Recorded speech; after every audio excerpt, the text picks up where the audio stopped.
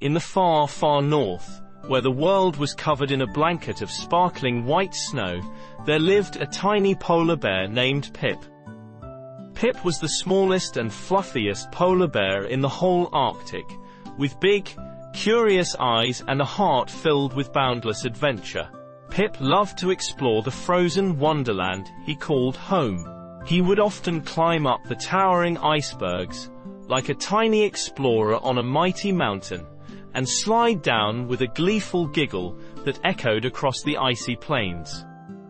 One sunny day, as Pip was scampering through the snow, he came across something he had never seen before.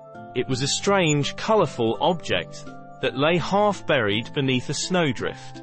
Pip's tiny nose twitched with curiosity, and he cautiously approached. As he dug deeper into the snow, Pip uncovered a beautiful wooden train with bright red and blue stripes. It was covered in tiny ice crystals that glittered like a thousand tiny diamonds. Pip had never seen a train before, and he was instantly smitten. With trembling paws, he picked up the train and examined it closely. He ran his tiny fingers over its smooth wheels and puffed on its small chimney. Suddenly, the train let out a cheerful whistle that made Pip jump with surprise. Pip was filled with joy. He had never imagined that such a wonderful toy could exist. He decided to take the train with him on all his adventures, and together, they embarked on countless magical journeys. One day, as Pip and his train were exploring a frozen forest, they heard a faint whimpering sound. Pip followed the sound until he came across a tiny baby seal that had gotten lost in the snow. The seal was shivering and scared, but Pip gently picked it up and wrapped it in his soft fur. Pip and the baby seal quickly became best friends. They played together in the snow, shared fish snacks, and took turns riding on the train. Everywhere Pip went, the baby seal followed, its tiny flippers flapping happily behind him. Together, they faced many challenges and shared countless adventures. They scaled slippery ice walls, navigated through icy tunnels, and even outwitted a cunning fox that tried to steal their train. But their greatest adventure of all came when they decided to explore the dangerous ice caves that lay beneath the North Pole. They knew that the caves were filled with treacherous ice shards and freezing winds, but they were determined to discover their secrets. As they ventured deeper into the caves, the darkness closed in around them.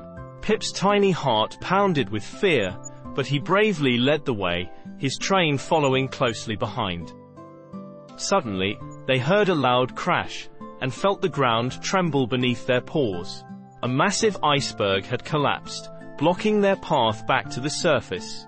Pip and the baby seal were trapped.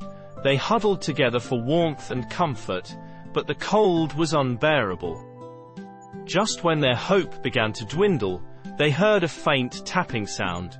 The sound grew louder, until it became a rhythmic pounding that echoed through the caves.